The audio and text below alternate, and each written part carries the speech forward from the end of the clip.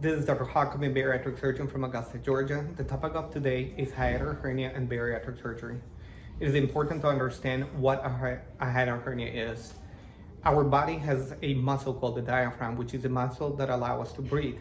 This muscle has a hole in the middle that allows the esophagus to go into the abdomen. This hole, the name of this hole is the hiatus. When this hole gets big and the stomach goes up into the chest, that's what we call a hiatal hernia.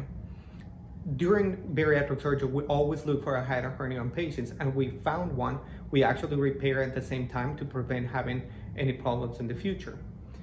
Usually, the development of a hiatal hernia is related to increased weight as well as heavy lifting. It is important to understand that a hiatal hernia doesn't necessarily require surgical repair we initially tried to treat the, the symptoms of a hiatal hernia with um, medications like Protonix or Omeprazole or overall reflux medications. When the symptoms of a hiatal hernia are difficult to control with medications or you develop severe symptoms like regurgitation of food, vomiting, and even choking episodes in the middle of the night, it is important to understand that at that point, your hernia may need a surgical repair. Thank you for watching. Don't forget to subscribe to our channel.